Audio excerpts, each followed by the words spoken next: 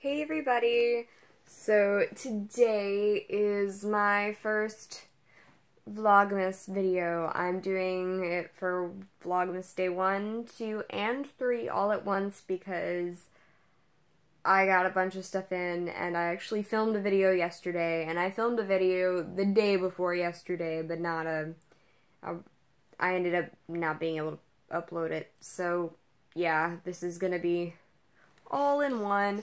So today I filmed my unpackaging of my um, Lightdow action camera, which I might end up having to send back.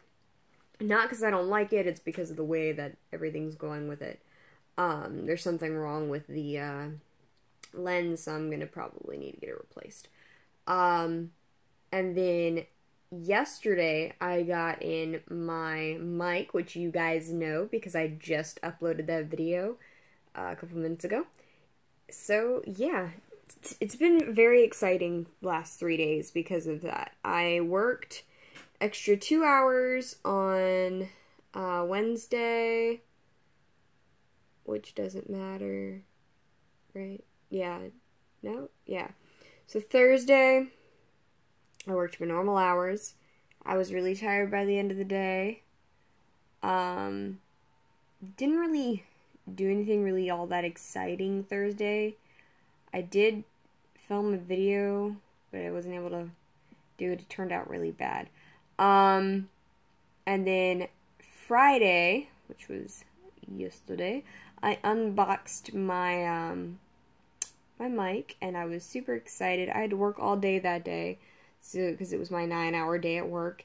So I didn't really get to um, do anything very exciting other than unbox that. Oh, and then I went to actually I did get to do something really exciting. Uh, then I went to my friend uh, Emily's um, wine tasting at her wine shop in my hometown, and then I went home and took a bath, watched some Gilmore Girls and some, uh, like, did some editing stuff for my YouTube page, if you've noticed, or YouTube channel, sorry.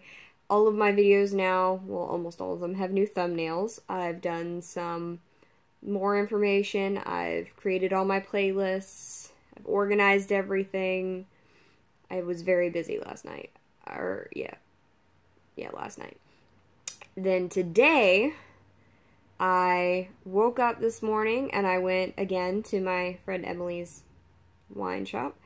And I worked on doing her hair because she will be running for um, office next election.